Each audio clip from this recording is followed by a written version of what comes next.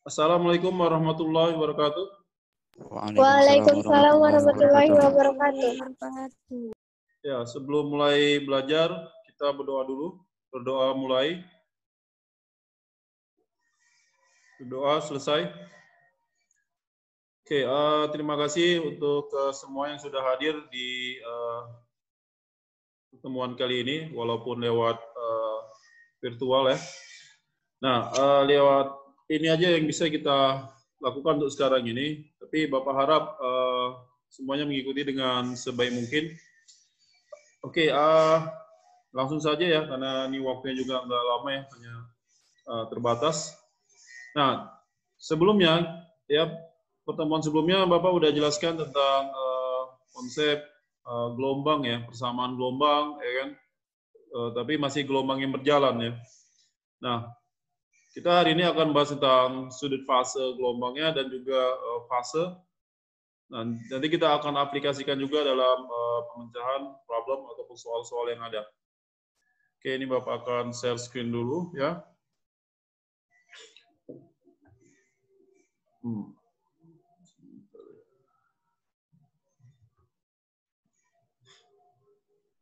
Oke, uh, apakah sudah nampak nih ya? Ya, sudut fase gelombang. Nah, indikator yang diharapkan kalian dapatkan. Nah, ini sebenarnya eh, lanjutan yang kemarin ya. Tapi ini Bapak akan mereview sedikit ya tentang memahami persamaan simpangan, kecepatan, dan percepatan gelombang berjalan. Kemudian eh, diharapkan nanti eh, kalian mampu menjelaskan tentang fase, sudut fase, dan beda fase gelombang berjalan. Ya, Nah, ini Bapak akan kasih pemahaman dulu uh, pembahasan kita ya tentang materi ini. Nah, apa sih yang dimaksud dengan uh, sudut fase ataupun fase itu sendiri? Nah, sudut fase nanti uh, di sini artinya sudut ya, seperti kalian tahu sudut itu biasanya buatnya theta ya, satuannya biasanya derajat ya. Tapi di sini kita pakai satuannya radian ya. Nanti simbolnya theta kita gunakan sini radian ya atau sikatnya rad radian. Sedangkan fase di sini tidak ada uh, kita tidak bentuknya. Ini artinya bagian dari gelombang, berapa bagian dari suatu gelombangnya. Nah, sebelumnya Bapak sudah jelaskan bentuk gelombang ya, terutama yang transversal yang kita gunakan. Nah, di sini Y-nya, ya ini adalah simpangannya, A-nya amplitudo, sin omega T dikurang KX. Uh, di sini omega itu kecepatan sudut dari getarnya, ya sumber gelombangnya. Kemudian K-nya adalah uh, tetapan gelombang, ya. Harus sudah diingat juga bahwa omega-nya itu sebelumnya ini sebentar warnanya jadi sebentar. Nah, di sini omega ini sama dengan 2pi per periode, ya. Atau 2pf ini karena F sama T berbalik terbalik. Kemudian untuk K-nya, K-nya di sini uh, eh, 2 pi per lambda. Lambda ini panjang gelombangnya. Nah, yang dimaksud dengan uh, sudut fase ataupun theta, ya, sudut fase di sini adalah, nah yang di sini coba sin setelah sin kan biasanya sudut ya. Masih ingat di, di trigonometri matematika udah belajar ya. Jadi di, di dalam uh, sin ini itulah si sudutnya tadi, sudut fasenya. Jadi Y kali A kali sin dari sudut fase. Nah, seperti ini. Nah, artinya sudut fasenya nanti sendiri adalah, nah ini, sama dengan ini ya. Nah, sudut fasenya.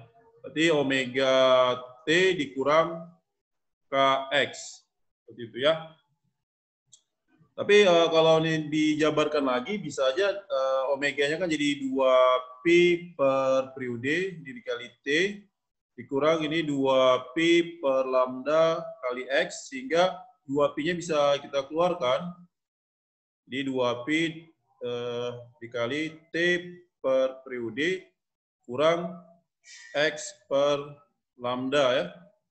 Nah ini untuk sudut fase ya, seperti ini.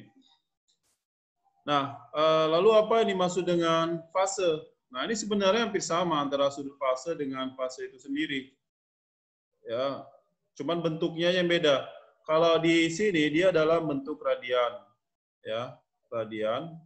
Ini bukan satuan ya, ingat ya, radian ini adalah bukan satuan, tapi bentuk uh, berapa bagian gitu. Nah, kalau fase dia berapa bagian untuk satu kali gelombang ya atau satu kali getaran satu fase gitu.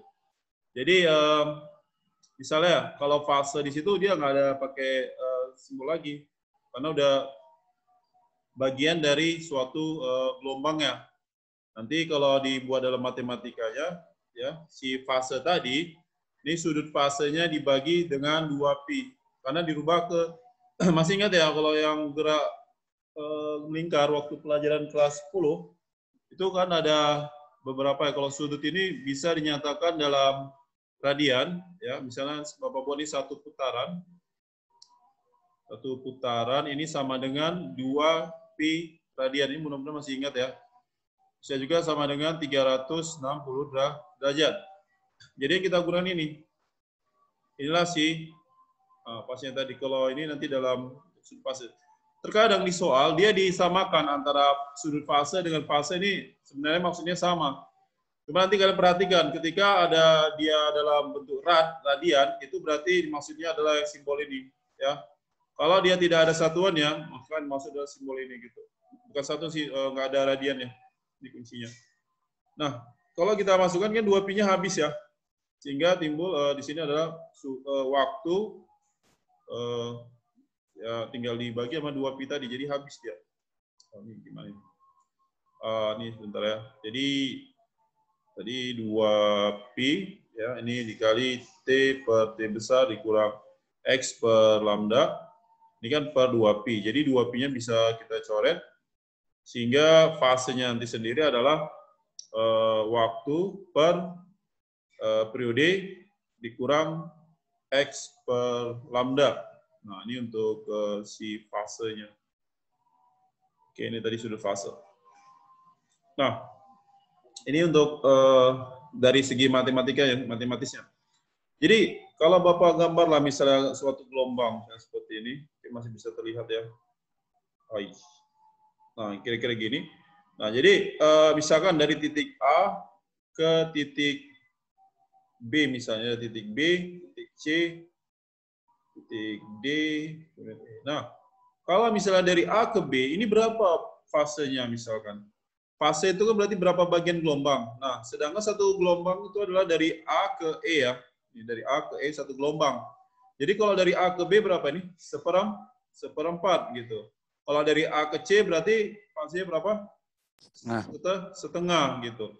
Ya, karena kan ini secara matematika uh, bisa, tapi kan lebih enak kalau kita lihat gambarnya. Misalnya dari A ke D, A ke D berarti 3 per 4. Ya. Kemudian nanti ada yang dimaksud dengan uh, beda fase ya atau delta fase ya, beda fasenya. Oke, ini kalau mau dicatat atau di screenshot silakan ya. Karena nanti ini akan kita gunakan untuk menyelesaikan soal-soalnya. Sudah? Oke, kita lanjut ke berikutnya. Oh, ini langsung soal. Sorry. Uh, gimana ini? Sebentar ya. Kita buat satu halaman baru lagi. Bisa tulis-tulis lagi. Nah, uh, tadi Bapak belum mau menjelaskan tentang uh, beda fase ya. Jadi kalau di sini untuk beda fasenya, jadi kita bahas tentang beda fase. Berarti delta ya. Nah, seperti ini. Nah, jelas dari sini kalau delta berarti akhir dikurang awal. Berarti untuk ke oh, jauh kuning lagi sebentar. Nah, uh, untuk beda fase berarti ini fase 2 ya. Fase kedua dikurang fase 1 gitu. Ya. Jadi um, kalau misalnya tadi Bapak ada gambarkan misalnya tentang bentuk gelombang saya seperti ini ya. Nah, misalnya di sini ada titik A, kemudian titik B, C, D. Misalnya antara si D dengan si C. Nah, inilah beda fasenya. Ini berapa gitu. Nah, dengan ada beda fase ini, eh, kita bisa lihat ternyata ada perbedaan juga eh, di simpangannya. Ya, simpangan di di D nggak sama dengan di, di C gitu. Nah, jadi nanti bisa dihubungkan dengan simpangan juga. Oke, nanti di sini untuk beda fasenya tadi, jika pada waktu yang sama dihitungnya, untuk waktu yang sama, maka di sini delta X-nya yang berbeda. Delta X per lambda. Jadi nanti bisa kita buat nih X2 kurang X1 per lambda. Jika pada waktu yang sama kita menghitung uh, jaraknya gitu. Misalnya jarak antara B sama D. Pada waktu yang sama, ada orang lihat di B, ada orang lihat di D. Waktunya bersamaan. Nah, kita gunakan nih bedaan jarak, perubahan jaraknya berapa. Misalnya di sini ada delta X-nya. Nah, tapi jika digunakan uh, posisi yang sama, misalnya diamati posisi di titik sini misalkan. Ini posisi X-nya ya, ini kan X tadi ya. Nah, X-nya udah tetap. Berarti yang berubah apa? Waktunya kan. Waktu kapan sampai waktu kapan. Nah, berarti nanti untuk beda fasenya yang terjadi perubahannya adalah perubahan waktu. Berarti delta T per periode. Nanti tergantung eh, apa yang eh, yang digunakan. Apakah tadi waktu yang sama atau eh, jaraknya, eh, posisi yang sama. Seperti itu ya. Oke. Nah, biar lebih jelas lagi, karena nanti kalau untuk materi ini kalian bisa lihat di psikologi ataupun lihat di internet udah banyak ya rumus-rumus. Bapak rasa kalian bisa baca sendiri dan coba dipahami. Kita coba lihat eh, contoh-contoh uh, soalnya biar lebih paham lagi. Oke, coba kita lihat ini uh, nomor satu ya. Nah, suatu gelombang berjalan merambat melalui permukaan air. Uh, Oke, ini anggaplah gelombang air ya, seperti itu dengan data seperti pada diagram ini, kita perhatikan di titik A, dia ke titik B. Nah, jarak antara titik A ke titik B di sini adalah 2 meter. Sudah? Nah, amplitudonya di sini kita lihat 3 cm, 3 cm nih. 3 cm. Nah, amplitudonya 3 cm ya. Yang diminta beda fase, jadi beda fase beda fase antara titik A dan titik B. Nah, berapakah beda fasenya? Nah, sini eh, Bapak tadi udah jelaskan ya. Berarti di sini pada waktu kita nampak seperti kan berarti pada waktu yang bersamaan gitu. Waktunya berarti sama. Berarti di sini ada ada terjadi perbedaan delta nah, delta x-nya. Ini yang 2 2 meter. Oke. Nah, jadi kita harus cari dulu lambdanya nih. Nah, lambdanya berapa? Oke. Jadi lambda kalau dari uh, gambar ini bisa kita lihat ini berapa banyak gelombang ini. Ini satu. Berapa banyak ada yang tahu gelombangnya ini dari A ke B? Dua, Dua, dua ya. Berarti dua gelombang. Ini satu, ini dua. Nah, jadi uh, yang dua meter itu dua gelombang. Jadi sebenarnya sini bisa kita gunakan untuk mencarinya adalah um, dua gelombang, dua lambda, itu jaraknya sama dengan 2 meter. Kan ini ya, 2 meter, sehingga lambdanya adalah 2 per 2 atau 1 meter. Jadi diperoleh uh, lambdanya adalah 1 meter dari gambarnya. Lalu apalagi? Nah, lalu uh, kita lihat, tadi kan uh, untuk beda fase, delta fase di sini adalah delta X per lambda. Nah, delta X-nya berarti eh, XB dikurang XA per lambda. Nah, XB-nya itu kan eh, ini sebagai titik nol ya, titik awalnya titik A. Berarti ini dua ya, ini kan eh, 2 meter. Ini dua dikurang, ini berapa ini? Nol ya.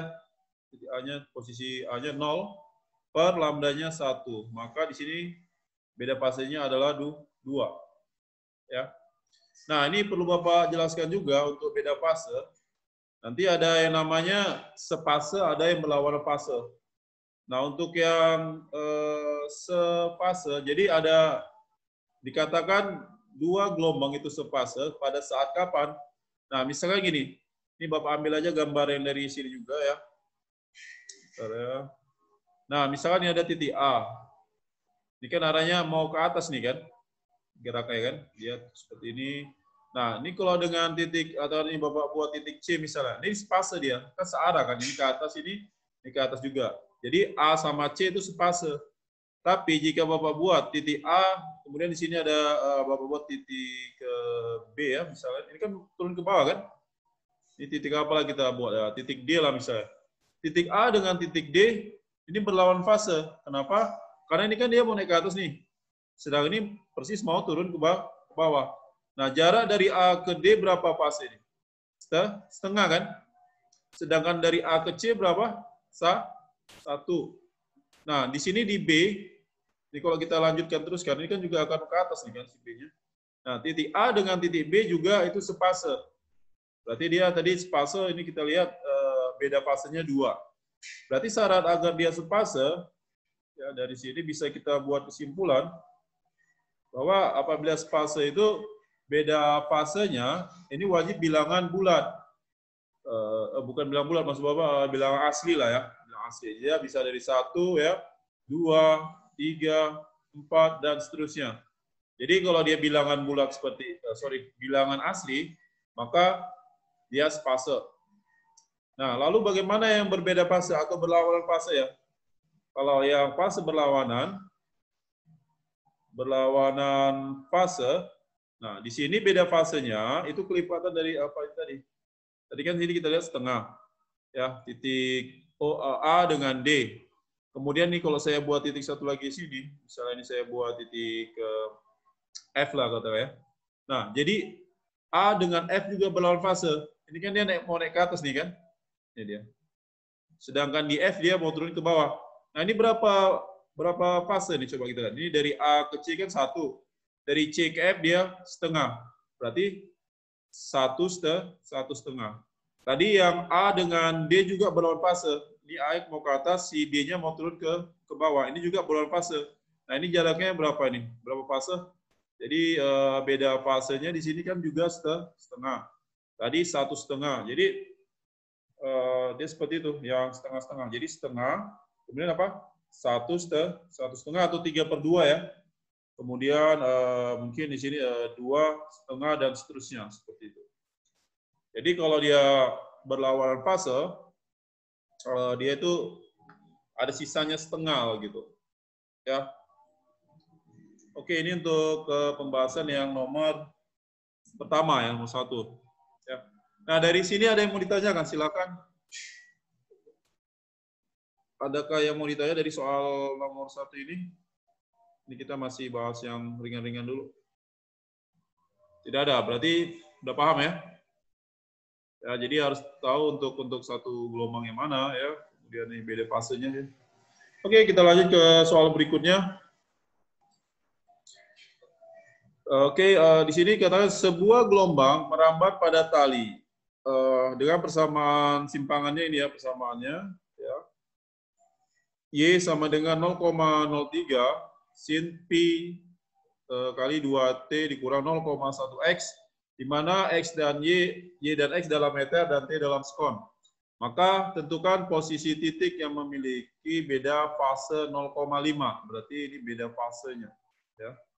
Nah, di sini kita dari persamaannya diperoleh data ya bahwa ini kan ini sudah jelaskan ya A sin uh, ini bisa kali ke dalam nih. Jadi 2 pt ya Oke, dikurang uh, eh, 0,1 px. Nah, ini sebagai si omega, yang ininya sebagai si k ya, tetapan pegas ya. Seperti itu. Jadi uh, di sini posisi berarti x ya, uh, x-nya Nah, um, jika ada merambat dari sumber, ini misalnya tali, ini ini sumbernya seperti ini. Nah, Nah, berarti kita mau cari titik di mana ini di sekitar sini. Nah, kita temukan dulu lambdanya karena kita mau gunakan bahwa uh, beda fasenya nanti ini berarti delta x per lambda. Jadi kita perlu uh, si lambda ini. 20 lambda kita ambil. Ada yang dapat lambda berapa ini? Lambda 20, Sir. Oke, bagus ya. Ya, ini Bapak tuliskan aja. Jadi K-nya di soal ini kan 0, 1 pi ya. Di sini 2 pi per lambda sama dengan 0,1 pi. Pi-nya bisa kita coret ya. yang persatu kita kali silang jadi 0,1 kali lambda sama dengan 2. Ya bagus, lambdanya adalah 20. 2 per 0,1, 20. Nah, sini kita gunakan satuannya meter ya. Nah, uh, setelah ini kita lihat delta X-nya. Ya, jadi kita bisa ambil, um, ini kan sebenarnya X dikurang X2 kurang X1 ya per lambda. Nah, ini kita lihat posisi, berarti posisi kita ambil dari titik acuannya sumber getaran atau X1-nya 0 gitu. Ya dari titik uh, katakanlah dari titik A dari awal uh, gelombang. Jadi ini kita buat aja X dikurang 0 per 20 ya. Sini katanya berapa? 0,5 sehingga diperoleh X-nya adalah 10 me 10 meter ya. Seperti ini. Jadi 0,5 dikali 20 ya. Oke, uh, Bapak Arab ini nggak terlalu sulit ya. Kalau yes, sir. Nah, jadi uh, karena di sini 0,5 atau setengah, nah ini pada saat ini terjadi apa? Berlawanan apa? Berlawanan fase. Ya. Jadi kalau dia 0,5 atau uh, 1,5 berlawan fase. Oke, uh, di sini Bapak ada soal lagi ya tentang ini. Bapak beri kesempatan dulu untuk menyelesaikannya. Coba masing-masing ambil kertasnya, pulpennya, coba dikerjakan. Ya, dicoba dulu. Masih ada waktu nih dikit lagi. Ya, Bapak kasih waktu tiga menit lah mungkin. Ya, karena ini bedanya dengan kalian lihat video kan. Kalau cuma lihat video kan, eh, kalian nggak bisa interaksi. Ini bisa. Ya, silakan dicoba dulu.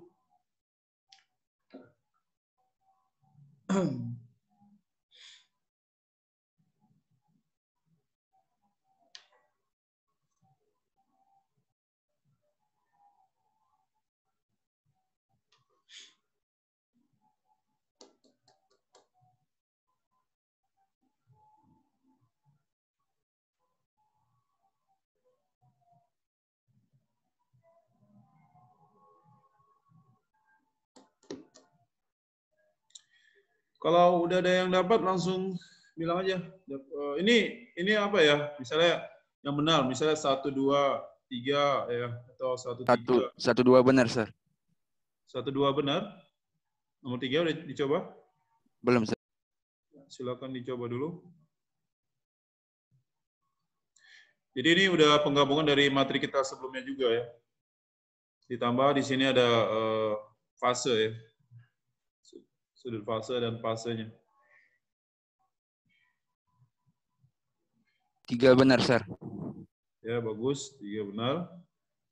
Sekarang yang tinggal empat. Jadi, kalau di ujian masuk perguruan tinggi itu, ada model soal seperti ini ya. Jadi, kalau satu, dua, tiga betul dia, jawabannya A. Kalau misalnya yang benar satu, tiga, itu jawabannya B. Kemudian kalau yang benar eh, dua, empat, itu C. Kalau hanya empat aja yang benar itu D. Kalau semuanya benar, satu dua tiga empat yang benar itu uh, choice-nya E. Ya. Jadi kalau bisa diingat biar nanti nggak lihat-lihat lagi petunjuk ya. Memang nanti harusnya ada petunjuknya juga. Itu udah jarang sih kelihatan model seperti ini. Nah udah banyak langsung pilihan choice saja. Oke, yang nomor empat nih tinggal. Tadi temannya udah dapat satu, dua, tiga katanya benar. Yang empat nih, jadi pilihannya mungkin A atau mungkin E kan? Tinggal itu kemungkinannya. Jadi harus dicek juga bagian 4 ini. Sebenarnya ada triknya ya. Jadi kalau misalnya satunya benar, duanya udah benar, tiga ini nggak usah perlu kita cek, pasti sudah benar. Jadi kalau satu benar, dua benar, langsung cek yang nomor empat. Ketika nomor empatnya salah, maka jawabannya A. Kalau nomor 4 yang benar, jawabannya E seperti itu. Itu triknya biar yang nomor 3 ini tidak perlu mencek lagi jawabannya. Gitu. Oke, yang ini ada dapat empatnya. Tinggal masalah yang nomor 4 nih. Benar atau salah? Oke lah, ini Bapak jelaskan saja ya. Jadi begini, uh, ini Bapak ubah dulu di persamaannya. Jadi Y sama dengan ini 0,02 sin Ini P-nya kalikan dalam aja. Jadi 50 PT ditambah Vx ya. Seperti ini. Nah, inilah sebagai uh, omega yang ini sebagai K ya. Nah, kalau untuk frekuensi kita gunakan omega. Jadi omega di sini adalah 2 2 PF ya atau di sini oh, langsung aja dibuat 50 T-nya. Oke. Saya buat 50 V ya, T-nya nggak usah ikut. Nah, ini 2 P F. Oke, ini sama dengan 50 P. P-nya bisa coret. Nah, frekuensinya 50 per 2. Jadi 25 Hz. Oke, bagus. Ini udah betul yang satunya. Yang bagian dua, panjang gelombang kita gunakan uh, K-nya ya untuk mencari lambdanya. Ini K yang kita gunakan. Nah, K di sini adalah du, uh, berapa itu? Tadi di soal oh, P aja ya. P aja saya. Berarti ini 2 P per lambda sama dengan P. Ini P-nya bisa coret. Kan jadi satu. Lambda sama dengan uh, 2 ya. 2 meter. Ini juga sudah betul. Nah, biasanya kalau satu dan dua betul, tiga pasti betul. Tapi untuk lebih abdul lagi kita kerjakan saja. Karena kan nanti mungkin soalnya bukan seperti ini ya. Bisa ditanya V-nya. Oh, V-nya sama dengan apa ini? V sama dengan lambda kali F. Ya. Panjang gelombangnya 2 kali F-nya 25 sehingga diperoleh ini 50 meter per sekon. Ya, ini betul juga gitu.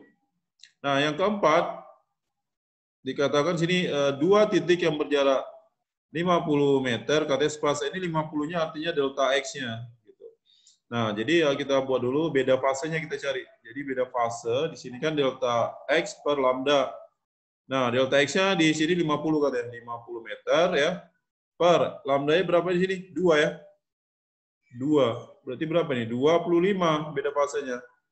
Nah, ini kan berarti bilangan asli kan ini, 25. Maka dia Iya, sir. sefase. gitu. Sefase. Berarti juga betul. Maka jawabannya di sini benar semua. Jadi E ya. Ya, jadi 1 2 3 4 yang betul itu choice-nya adalah E seperti itu. Ya. Jadi uh, harus sudah bisa Bang ini. Ini lagi satu lagi. Oh, satu lagi nih. Aduh, waktunya udah mau habis ya. Oke, langsung Bapak jelasin aja ya karena waktunya udah mau habis ya.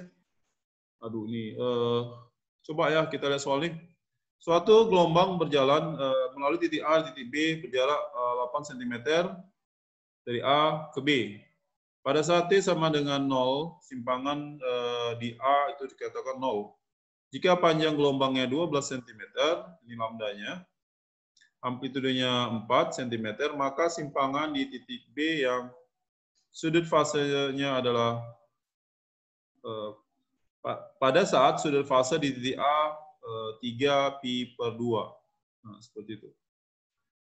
Oke. Nah, berarti tanya simpangannya. Pasal T sama dengan 0, simpangan di A itu 0. Ya. Jadi di sini ada kita lihat tentang ini ada panjang gelombangnya. Lambda. Nah, kita gunakan beda fase ya. Jadi uh, beda fasenya tadi ya, pada saat sudah fase di A. Berarti beda fase A dan B ya.